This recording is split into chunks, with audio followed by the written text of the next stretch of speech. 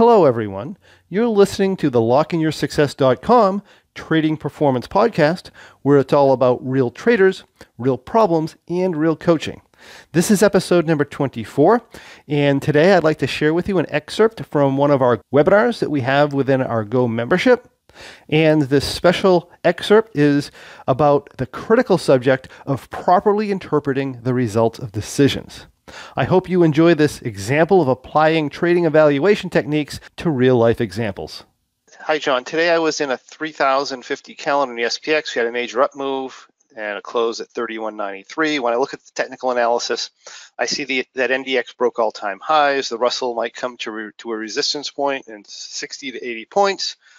And the SPX broke the 78.6 Fibonacci. I don't see any major resistance area before the SPX hits all-time highs and I was down a small amount on this trade. I originally planned stop loss at $1,500. I had two choices, adjusting up and or exiting the trade. I decided to exit the trade as I didn't see any technical reasons why SPX would stop running before 33.90. On the other hand, I see that the market is overextended. Was I right to exit earlier or should I have given more time because of the possible overextension and maybe a little halt that could have transformed this calendar into a winner? So what I want to talk about is, and this is a common question, but the most important thing or lesson that we can get out of this is whether or not we're evaluating our decisions properly.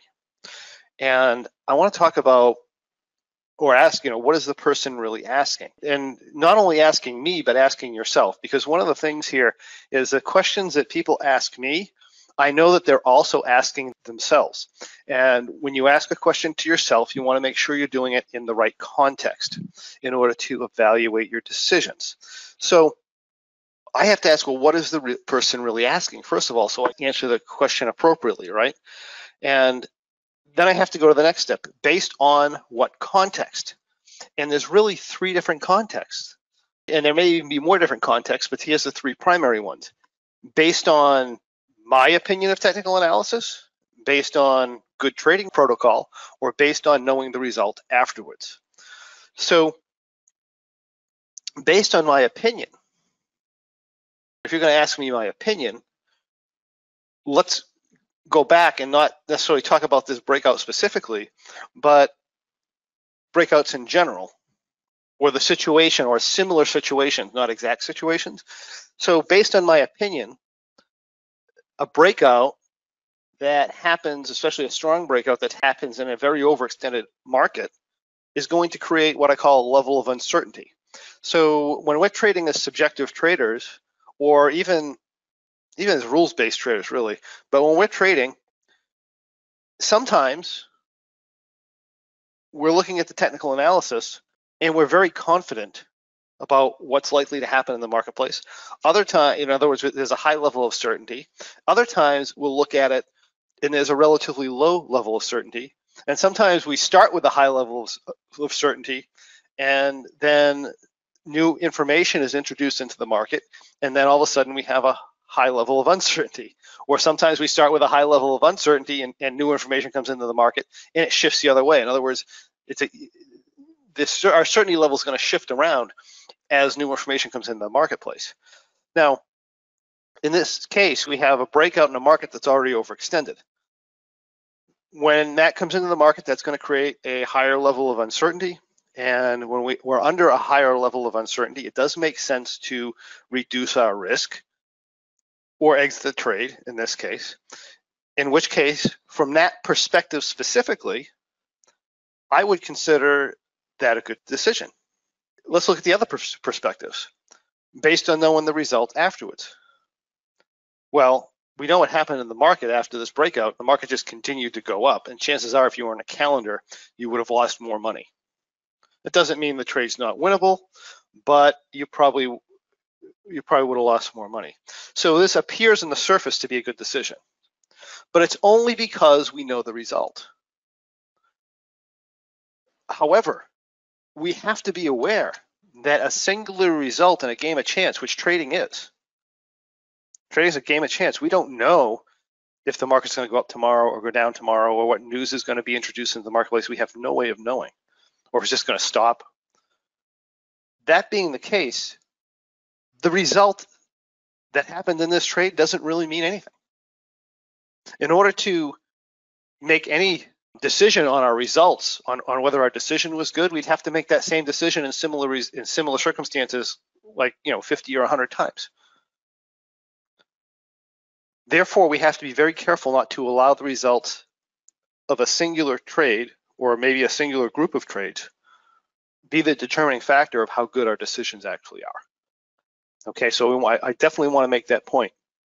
Now, when we talk about good trading protocol, good trading pro protocol is very important because you may have had a good technical analysis decision going on there. But if you're following bad trading protocol, that's eventually going to come back and hurt you in the future. It's going to create bad habits, and bad habits are going to result in bad results over time, whether that be the one big trade that went totally wrong and you lost you know 10 times more than you were supposed to or it happened in a smaller sense where it just repeatedly leads you down the spiral of progressively making worse and worse decisions in your trading. So following good trading protocol is important and that's ultimately what's going to get you very successful in the long run. So let's talk about that for a minute. So when we make a trading plan for our trades actually let's look at the non-subjective trader first. If you're a completely non-subjective trader, in other words, you have your trading plan does not include any kind of technical bias or or maybe it does include technical bias, but it's done the same way all the time. Then you have the plan and the plan's laid out. And it, and if your strategy, if your plan, if your method of trading is to solely follow this plan, regardless of what's going on in the marketplace. And then you make the decision to break the plan based on technical analysis, you're not following your plans. You're not you're not having integrity with yourself, you're not doing what you said you were going to do. And that's going to lead to to going to doing that at a progressively higher and higher level and worse than that, it's going to lead to doing it at a time when your emotions are elevated and you're making decisions that are not necessarily logical or usually aren't going to be logical. They're going to be based off of fear and greed. And that's going to lead to poor decisions. And that's going to lead to the habit of poor decisions, as I say. And that is going to lead you to poor results over time. So if, if you if that's what you are, if you have a plan to do non-subjective, do it non-subjectively, and breaking out of that plan, whether it would have resulted in worse or better result, a result in that particular trade doesn't matter. It's more important that you develop the habit of following your plan.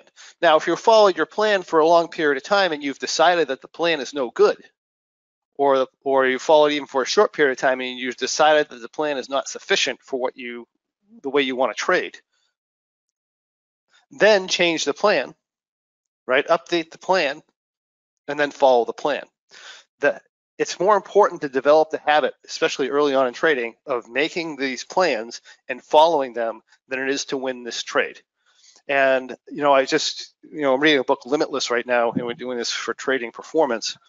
And Jim Kwik talks about this uh, in his book is that, you know, we, we talk about learning curves when we're constantly focused on the short-term result, what happens is we make certain decisions, and those decisions lead to a lot of times seeing results in the short term, and then our result line flattening out or starting to go down afterwards.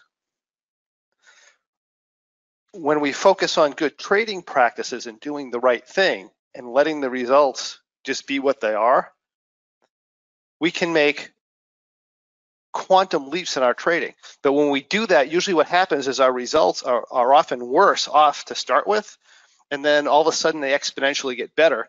And next thing you know, you know you're, you're at a master level doing this. And you know, I I talk about this the same way in martial arts or pickleball.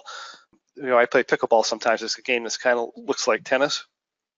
If you take pickleball for an example, you know, I can go in and I can and if I'm playing a, a player that's similar to my skill level, I can go in and I can make these, you know, cute, tricky shots and have really bad form and just hit the ball really hard, you know, and I can beat I can beat them, right? Just just through sheer effort, sheer trying.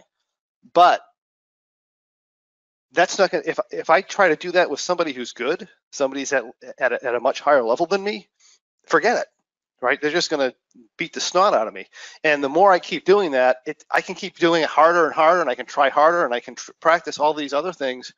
But if I continually play the game that way, I'm just not going to make any progress in that game. I'm not going to get to a higher level. In order for me to get to a higher level, I have to practice playing the game very methodically. And I have to practice the skills during the game.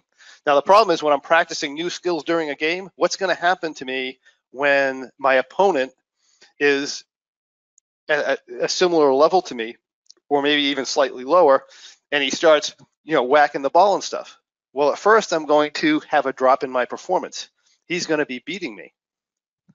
And if I can live with the fact that while I'm practicing the skills that I need to become a, an elite player, if I can come to the grips with that fact, that I'm going to be losing for a period of time in order to develop those skills, then I'm going to continue to develop the skills. I'm going to get better. I'm going to get better. I'm going to get better. And then at some point, I'll be able to utilize those skills and I will be much, much better than that other person.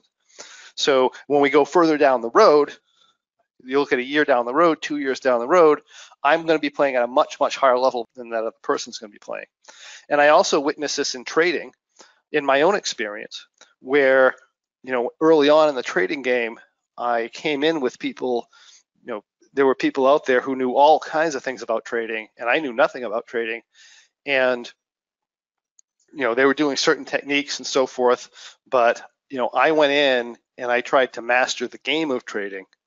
And you know at the time they were getting better results than i am but now i talk to them 10 years later they're no further ahead than they were when i started and I'm at this much, much, much higher level. And it's because I'm not overly focused on the results. So just keep that in mind as you're learning the trade, and you know realize that the short-term results aren't necessarily the best thing for you. Focusing on that.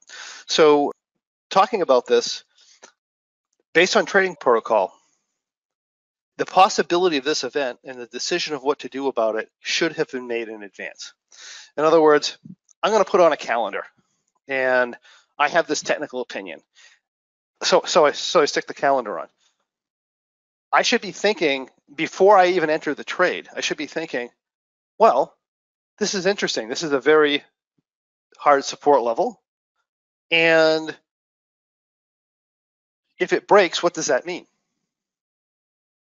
Does it mean I'm still certain about what's going on? Does it mean, you know, if I start in this position and that technical level breaks, how much am I going to be drawn down? What am I going to do about it? Is it worth even chasing? What's my level of uncertainty or uncertainty if that event were to happen? In other words, I should have known this ahead of time. I should have known that if the market comes up to here and then it takes off, then I'm just going to get out of the trade. Or if the market comes up to here and then it takes off, then I'm going to have this adjustment strategy and I'm going to stay in the trade. That should have been decided in advance. The fact that it wasn't decided in advance tells me that I have a substandard plan, right? Something happened that I didn't plan for. And in which event, if something happened you didn't plan for, then you don't know the meaning of it. Your plan should be to get out of it anyway. But my point being is that is an indication that you need to be working on your planning because you should have known what to do in that case. And if the fact that you didn't know is quite frankly, it was a bad decision to get into the trade in the first place because the plan wasn't adequate. Now, this is going to happen when you're newer. When you start making plans, there's going to be things that happen that you you don't account for, you don't understand.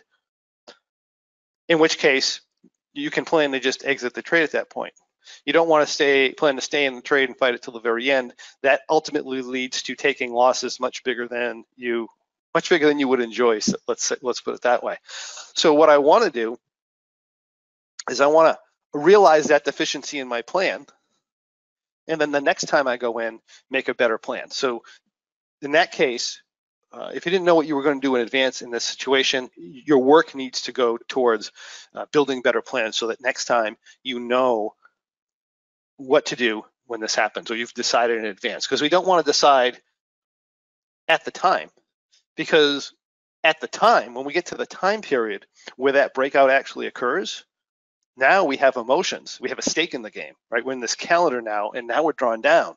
And now a lot of times the way your brain works is it wants to get back to break even or it wants to you know it, it, it, it doesn't want to take this loss and that influences unconsciously influences your or biases your future opinions and what to do about it and that can create real challenges going forward. Right so we want to do that. If this possibility was in the plan and you followed the plan then that's a good decision whether the market ended up coming back or not. Okay so that possibility should have been outlined in the plan and if and if you you know it broke the range and you exited good job for you. Again if you're non-subjective and you brought subjectivity into the plan and broke your plan, that would that would, in my opinion, create a bad decision and something that you should work on. Okay. Uh, so based on my opinion of technical analysis, was it a good choice to get out of the calendar? Yeah, I would say probably yes. Based on knowing the result afterwards, that should be ignored. Again, short-term results don't mean anything. This is a game of chance you'd have to make that similar. Now, if you made that similar decision 50 times and you got the same result 50 times, then now we have a clear data set on whether or not that was a good decision or not, and we can incorporate the results of that. Uh, based on good trading protocol, this seems like a bad choice. So I would need to see the plan to decide whether it was a bad choice or not, but I'm assuming because of the question that it was not included in the plan, and therefore I would have considered that a bad choice. And the bad choice may not have been getting out of the trade. The bad choice may have been entering the trade in the first place because the plan was not well enough thought out. I don't know. I'd have to see, again, I'd have to see the plan on that side. So keep those things in mind. And like I said, our whole membership is designed around trying to help you develop good habits around trading. You know, it's not because the bull trade is inc- incredibly complex and it's going to make you a gazillion dollars over time. It's just going back to saying, can I just have a simple plan and follow the stupid plan, regardless of what happens in the marketplace? In other words, can I build the discipline with myself, or or let's build the discipline with myself first, and discipline in following a plan. That's a good trading habit. Now, whether you want to follow that plan into the future when you see the results of that plan, that's a different subject.